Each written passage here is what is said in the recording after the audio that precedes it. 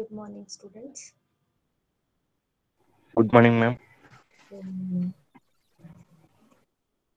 let us resume from uh, yesterday's class. We were learning uh, probability approximating correct learning.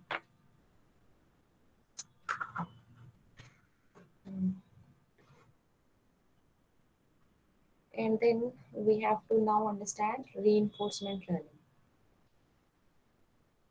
Reinforcement learning is uh, another kind of learning method where uh, for every right answer a reward is given to the agent. Agent here is uh, AI system or any decision making system. It receives a reward or feedback. It could be positive or negative for the actions that it performs at the end of the uh, sequence of steps. Example is when uh, when a small child is uh, uh, not going to school, uh, her mother uh, would probably tell her to go to school so that uh, she would give her a chocolate. So, what is that chocolate? That is a reward. Why that reward is given? Because uh, mother wants her child to go to um, school. That going to school is the action of the child. When you compare uh, uh, in AI system, any decision making software or hardware uh, is known as an agent. It's like a child, and um the mother uh, is uh, like uh, we humans or uh, another system that is invoking that uh, decision making system uh, who would be giving some kind of reward or feedback. That is reinforcement learning.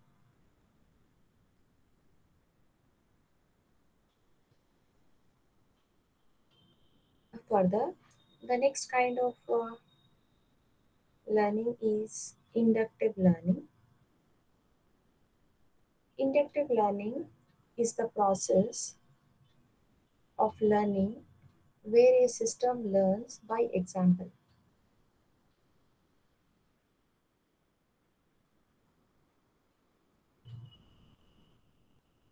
An example is given.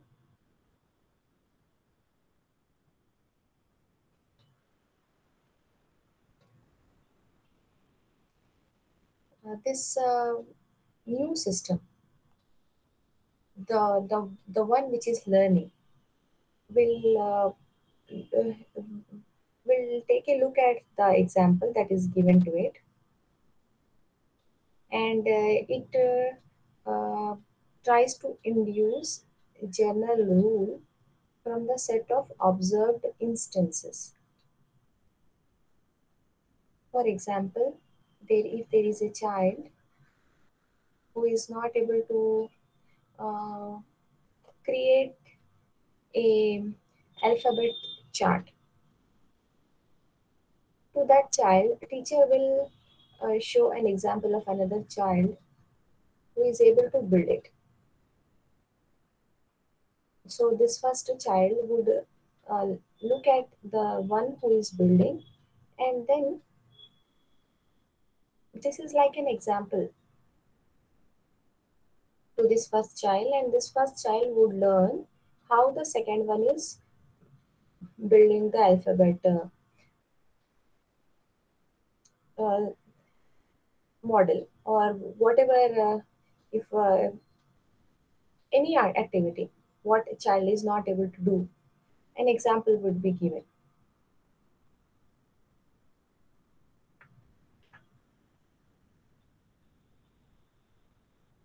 in order to perform inductive learning There is an inductive bias which is used to generalize beyond the specific training examples.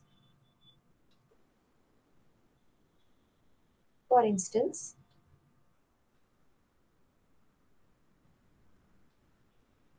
when we need constraints or biases to determine what f is the best.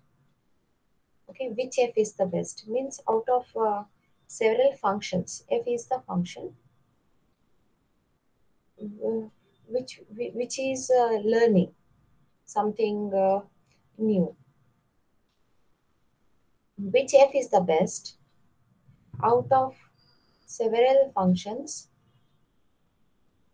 that is uh, determined by going through the constraints or the biases um, for, for, for example if uh, again let us take uh, child analogy. If every child will have his or her own constraints. For example if an activity is performed where uh, child has to eat a certain um, food item for that activity teachers should know whether i- i- there is any child who is allergic to that particular food item. If a child is allergic to that food item, child is not given it. Mm, therefore, here um, constraints have to be identified. Later, from among several functions that that have been uh, potentially generated based on the uh, constraints, an inductive bias would allow users to choose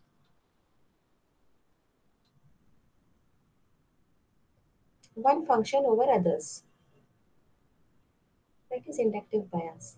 Mm, as an analogy, out of several eatables, the one which is more suitable for a child is picked up and given to given to him or her by the teacher based on the bias or the constraint. Inductive learning framework is constructed by pre-processing raw input data from sensors. What are sensors? Example of sensors are camera, uh, or any other sensing uh, mechanism mm, mm, or device, any other device that could uh, examine the environment and could uh, extract the features or the property of the environment. That is sensor. If, if a robot is there, this robot would uh, humanized robot robot would see at the environment or the world around it mm, by using the cameras. Okay, there will be cameras in the eyes that are fitted. Those are sensors. And obtaining feature vector. Um, this this robot would uh, extract the images of its environment, of its surroundings, and then uh, try to understand uh, that by looking at different properties or features of it.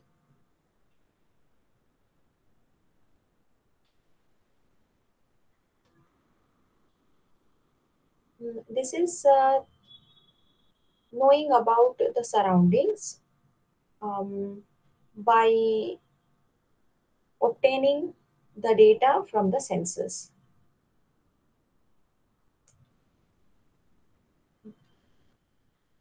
This one is uh, inductive learning. Deductive learning is the next kind of learning method which involves working on already existing facts and knowledge and deducing new knowledge. How to deduce new knowledge? Consider that you know Python programming language and you are aware of its decision making statements and loops. You know that it has got two kinds of loops for loop, while loop. It has got decision making statements like if, uh, if, if else, if else if ladder, nested if. Based on this uh, knowledge, if you are asked to display or print the mm, multiplication table of a given number, uh, what you can do is based on the existing knowledge, what knowledge you have, that you can use a while loop. You can say while i less than 11 uh, before uh, the loop initializing i to be 1 and before that um, you are taking the number from user uh, you prompt the user through input uh, box prompt box and import int of input enter in uh, number. And uh, within the within the loop you say that n n is equals to uh, uh, you can directly print of n equal to comma n into i.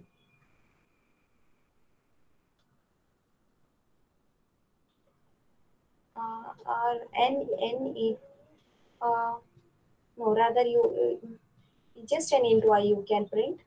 Or uh, you can go for uh, n into i equal to n into i this this is the new knowledge that you have derived from the existing knowledge.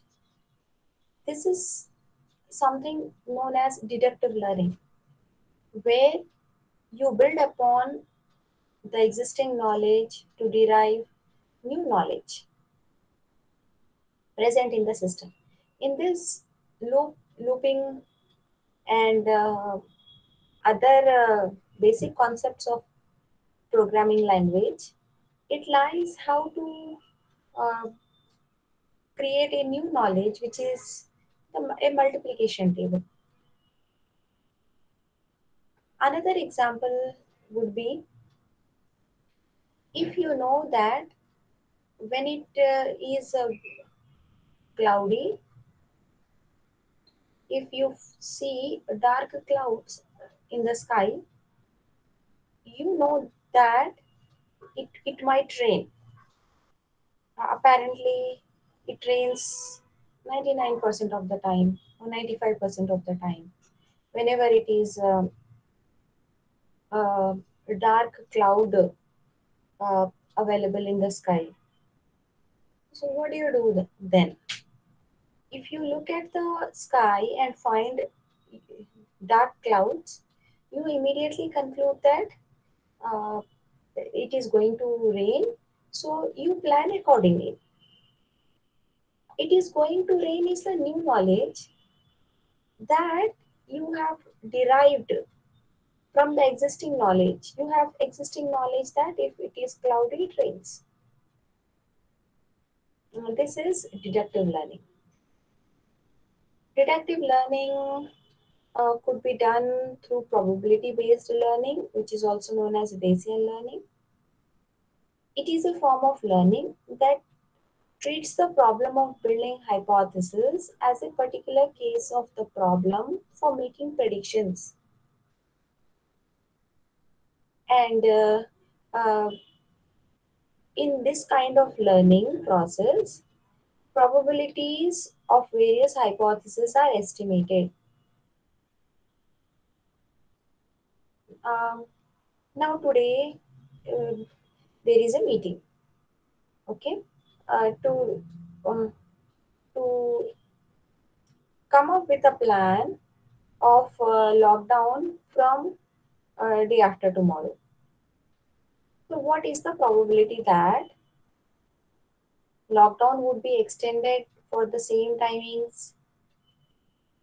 The probabilities let us take 0.3 what is the probability that time would be extended? Let us take that probability is zero point 0.6 what is the probability that uh, lockdown would be totally um, eliminated? It, it, it, it, it could be 0.1 these are the probabilities assigned for various outcomes of the meeting and why i'm saying that uh, uh, 0.6 which is the highest probability assigned to uh, the extension of uh, uh, lockdown with the relaxation of timing i have a um, uh, base for that. What is the base? The base is that i know um, the cases are declining because of that there is a chance of um, increasing the time. Because of that that is the justification why i am assigning this probability. Therefore in a system uh, which is uh, built through bayesian learning probabilities of various hypotheses are estimated and predictions are made using the posterior probabilities of the hypothesis. And so uh, uh, the, the prior probabilities would be probability for the number of cases, probability for the extension of uh, a lockdown, probability for extension of time, probability for not extension of time, probability for unlocking, um, lifting of the um, lock lockdown completely. All these have got some prior probabilities. And based on these prior probabilities, you estimate the posterior probability. Uh, through this, new knowledge could be derived. Uh, there is another method which is known as adaptive uh, dynamic programming. This is a kind of reinforcement learning and it works by solving the utility equation using the dynamic programming algorithm. You might have learned about dynamic programming. Uh, in that dynamic programming, uh, uh, if, if a solution is uh, created by um, combining various sub-solutions and that uh, mechanism would be uh, leveraged to solve the problem of deductive learning. And uh, the method that is uh, employed is reinforcement learning by using dynamic uh, programming algorithm. This essentially involves designing that approximates dynamic programming in the general case. You know, approximating. Approximating means given so many options available, uh, you come up with the one with the uh, that uh, that uh, essentially uh, or effectively uh, done the solution that, could uh, easily find the solution uh, that could uh, actually find the right solution. Okay that uh, and it approximates optimal control over time in a noisy non-linear environment. In a noisy means when there is a noise present disturbance uh, and nonlinear environments.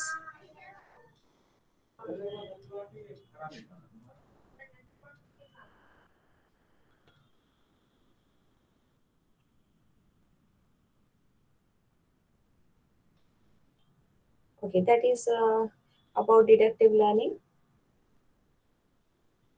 Furthermore, the learning could be done in an unsupervised manner through the concept of clustering. Ma'am, Hmm? Prem and uh, Nandini asking to join the class, ma'am. Okay.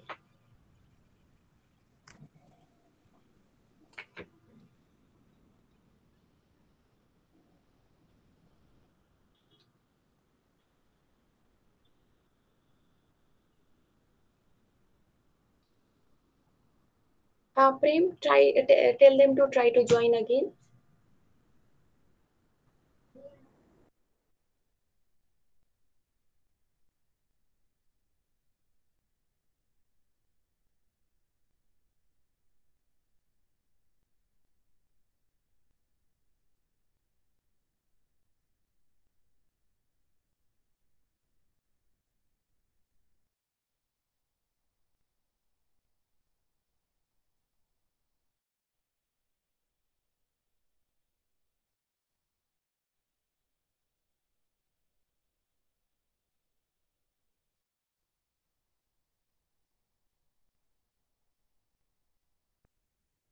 Yes, ma'am.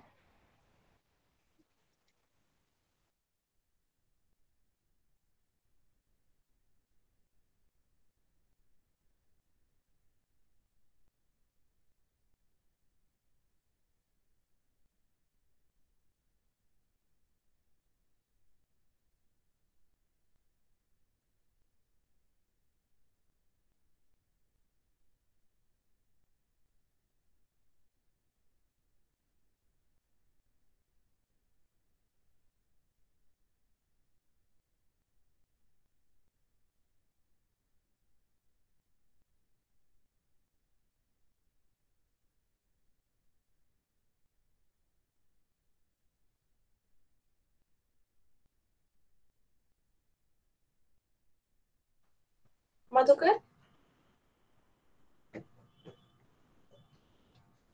Yes, ma'am. are they joining? Ma'am? Uh, have they joined? No, ma'am, not yet. Because if uh, we start with the presentation again, uh, they can't join.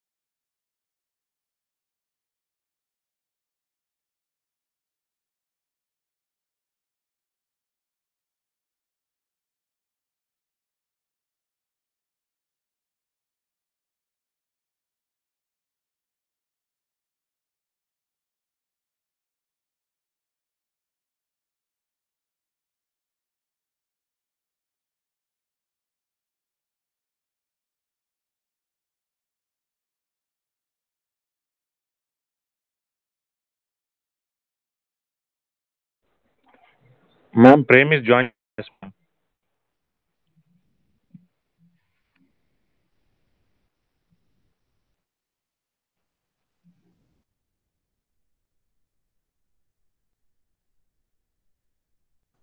Uh, okay. So the thing is that mm, because I'm uh, presenting the slides, it is difficult to uh, allow, and I will not know also if anyone is trying to join.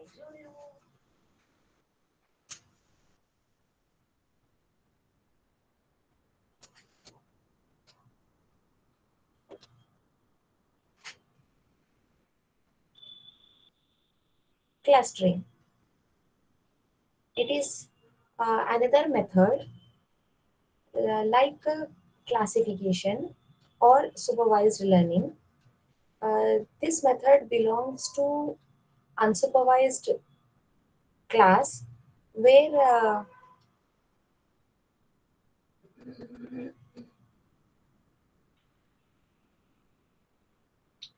uh, where learning process continues without using any labels. Clustering is defined as the process in which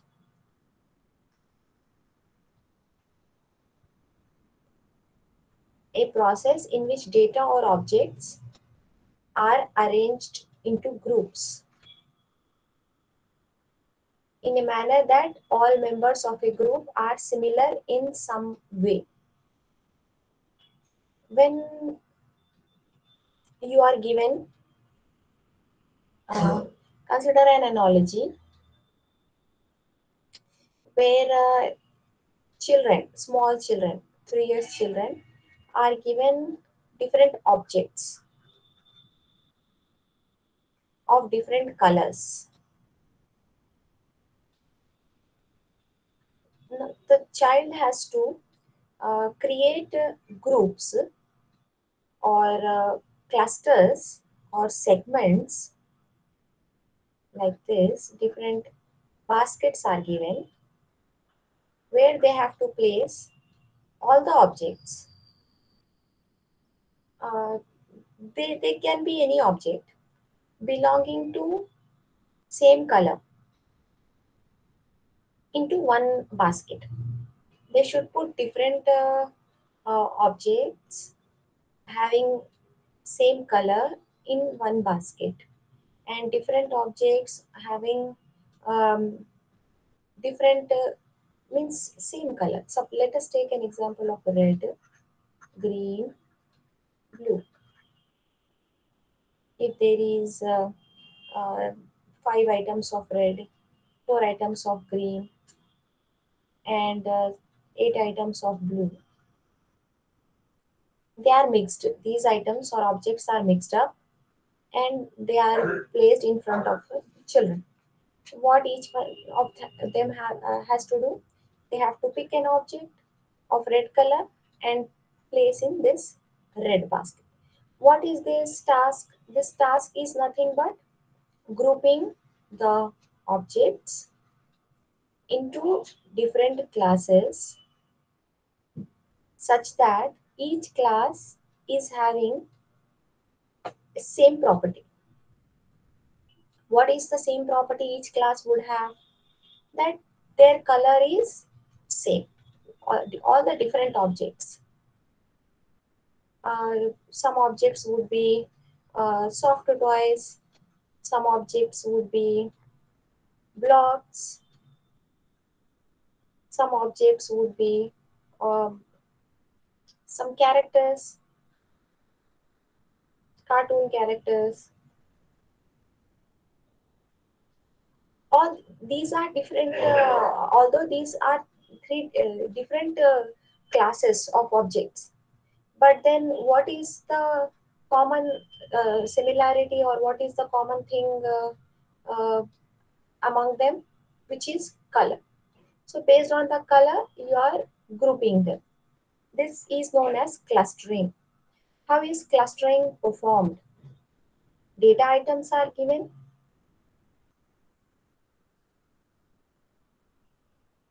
Or uh, uh, we can say that take an example of student dataset in student dataset uh, we have student roll number student name student uh, date of birth marks um, now uh, they, these uh, data records are uh, let us take there are there are uh, 800 records total 800 records. These 800 records have to be grouped into different clusters. Based on what uh, attribute they could be clustered based on date of birth or based on marks or even based on name uh, all the names that begin with a are grouped in one cluster another one begin with B, another cluster. Like that, you will get total 26 clusters. Or based on date of birth, if you are uh, categorizing them, uh, it could be all the students who are born in the month of January or uh, born in February, so 12 clusters you get. Or based on marks, it could be done all students who have scored A plus grade, A grade, B plus grade, B grade. Suppose uh, you have uh, six grades, C grade and F. F, F means fail. So uh, these 800 records could be uh, clustered, could be grouped into six different uh, categories based on marks, like that, or marks or grade. Like that, when a data set is given, the records are grouped into multiple clusters which are similar in nature. Uh, objects within the cluster are similar, objects between the clusters are dissimilar. And then uh, clustering algorithms may be broadly classified into different categories. First one is exclusive clustering, where objects are grouped in an exclusive way. Uh, in other words, uh, if a certain object belong to a definite cluster, it then it cannot be included in any other cluster. Mm. The, how this could be explained? Example, you take an example of e-commerce uh, website uh, customers data consider that uh, that website is grouping the customers based on uh, uh, their shopping patterns. Suppose if there is one item which is purchased only by single customer a, an, an item has been launched. It is possible right? A new phone is launched or a uh, mobile is launched like that uh, different items are launched. Consider one item that was launched and purchased by one customer. And that customer uh, is not included in any other uh, group because it has got a distinguishing feature a unique characteristic. It is exclusive because it has purchased uh, because it has purchased one uh,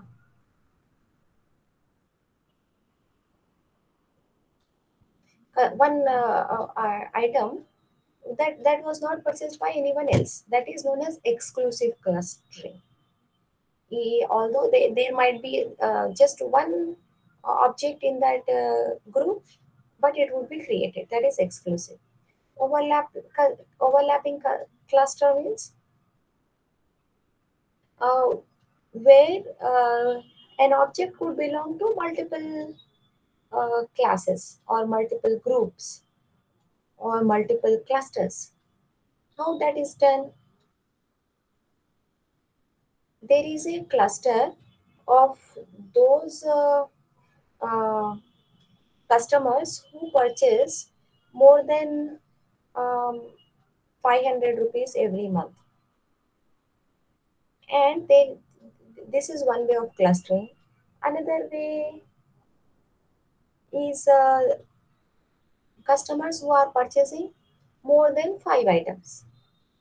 So a, a customer could belong to this category and this category both okay so uh, uh, this each point hmm, uh, each point means each customer when it uh, when it is a part of a data set it is uh, referred to as a point.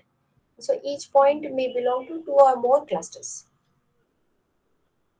Okay it is possible that uh, one point means one customer would be belonging to two or more uh, mm, or uh, let us take this for customers who purchase 500 every month and also customer who purchase uh, uh,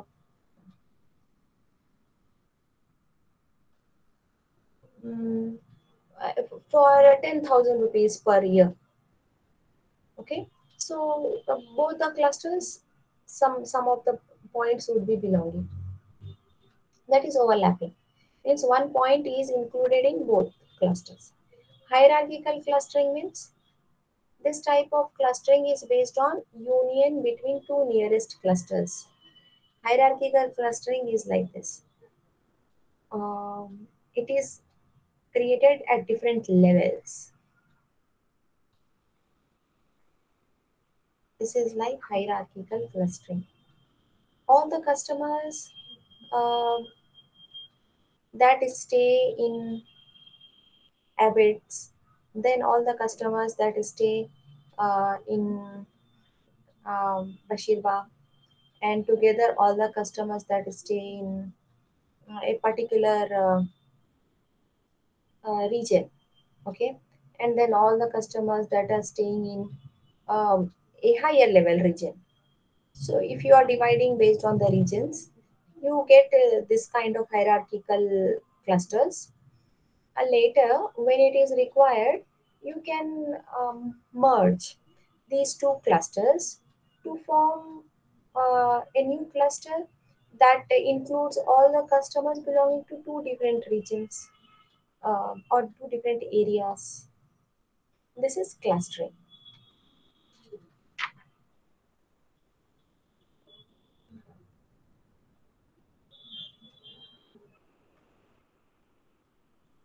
And the algorithms that are used uh, to perform clustering are k-means algorithm, first one,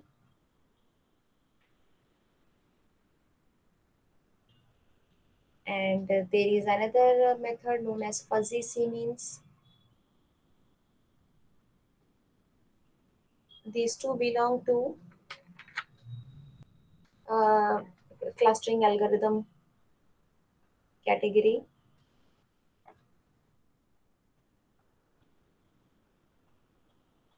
Next support vector machine. This is a very important uh, algorithm that performs classification of data by constructing n-dimensional hyperplane. What, what is hyperplane hyperplane is in simple words it is a line. When you have data data can be uh, plotted okay? Or uh, uh, in a uh, yeah uh, you can map the data on a 2d space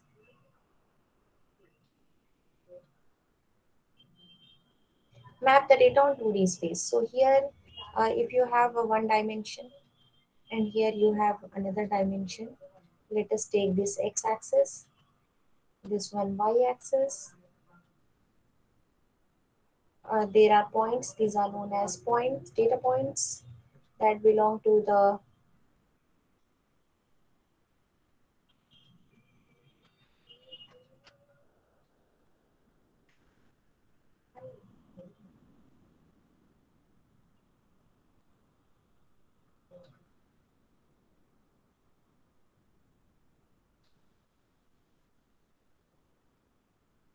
okay these are the uh, data points. Cross and dot.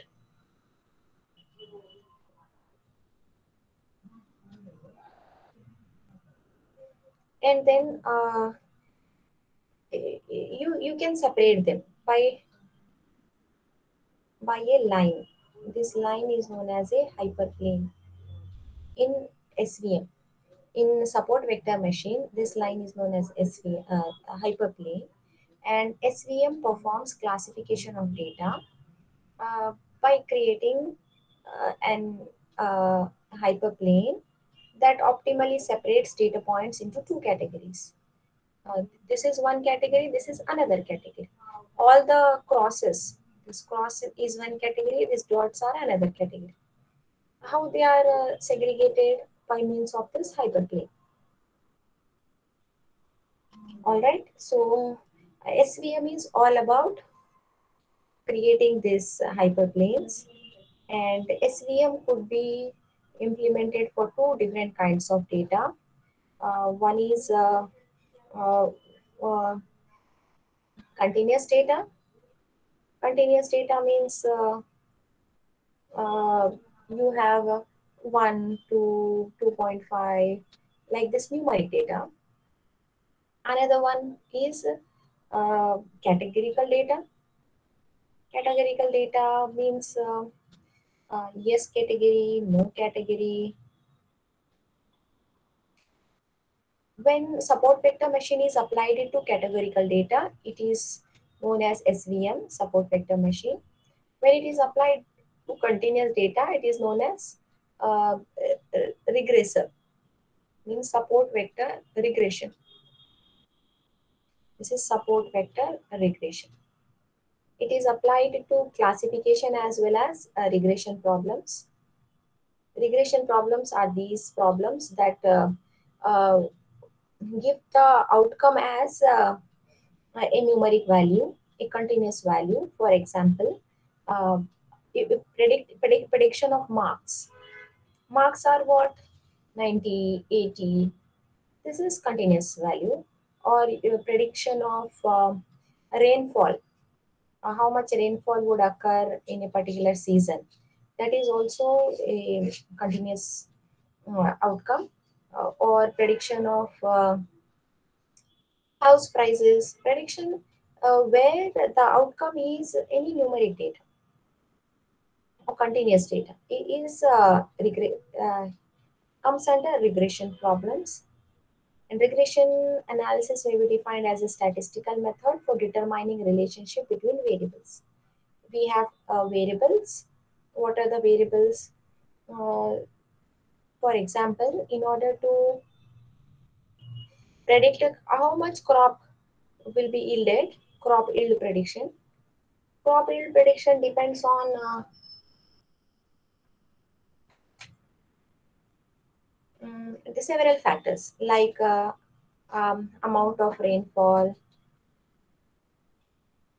then uh, soil nature, then uh, um, seed quality. Consider only two for, for now, rainfall and soil. If these are the two features, two variables that are used to predict the crop yield, okay, how much crop would be generated based on the um, amount of rainfall and the uh, quality of soil. That is uh, determining the relationship between uh, variables through statistical methods. And then uh, regression, SVM for regression is also known as support vector regress, regression or regressor. And SVR, the cost function for building the model, ignores any training data that are close within the threshold E to model prediction. Um, in order to predict, model has to be trained. All right. So then uh, there is a cost associated with the training and training data has to be supplied to it to the model model trains itself and then uh, uh, uh, learns the uh, relationship and the patterns and the features of the variables uh, later it, it would be doing that uh, analysis process or prediction process by um, by leveraging the model that has been generated uh, through the training the data. All right. This is about SVM. Next is case-based reasoning and learning. Case-based reasoning and learning is an approach for problem solving and learning uh, paradigms in artificial intelligence. It is uh, uh, to utilize specific knowledge from previously experienced problem to solve the uh, present problem. Uh, you might have observed um, a doctor when uh, he is teaching his uh, juniors, suppose if there is a group of uh, five junior doctors um, associated with a senior doctor, how senior doctor explains the case to junior doctors when he comes to a patient uh, he uh, explains the problem to the uh, all his juniors. Later he go to second patient. Later he go to third patient. Consider now first and third patient are similar. Their cases are uh, quite close. Uh, therefore what doctor would say? Whatever i explained to you near patient number one same things apply to patient number three and uh, this case is uh, uh, quite similar to case number one. Like that doctor um, uh, sort of uh, give a comparison. Uh, and a, a, you know case for the juniors to relate to the present case. Okay? So uh, a problem or a situation refers to a case which was previously experienced uh, situation and knowledge is retained and is used uh, later to solve the new problem. This is case-based learning. Same thing could be um, harnessed uh, for the development of AI systems. This AI system suppose if this AI system has encountered a problem which is uh, which it has solved um, uh, thoroughly and uh, efficiently, if similar kind of problem occurs, then what AI could do is AI could relate. How AI could relate? Because AI is nothing but it is uh, all about uh, uh, relating the features when AI uh, identifies similar features, it could uh, uh, apply the same solution or a solution which is uh, uh, modified to extent which suits the new um, case. So that is case-based reasoning and learning. Fundamentals of case-based re reasoning methods are to identify the current problem situation and to find a past case which is similar to the new one and uh, which will lead to the uh, case to suggest a solution to the current problem which is quite similar to the solution which was already uh, provided to the previous problem and evaluate the uh, proposed solution and update the system by learning from this experience.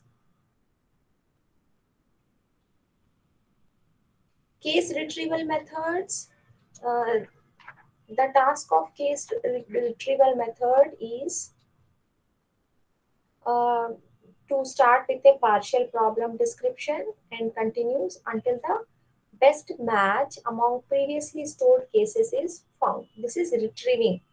Like uh, in SQL, what do you do? Select a star from a student where like you are retrieving the data from the database.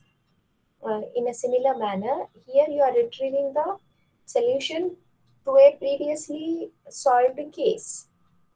The subtasks of case retrieval include the following. Uh, first one, identification of the features, initial matching and searching, and finally selection. And the methods known for retrieving uh, cases are nearest neighbor, induction, knowledge guided, induction, template retrieval. These are the methods that could be uh, utilized in order to uh, retrieve uh, already solved problem and its solution so that it could be uh, used to solve the new case. This is all about uh, case retrieval method.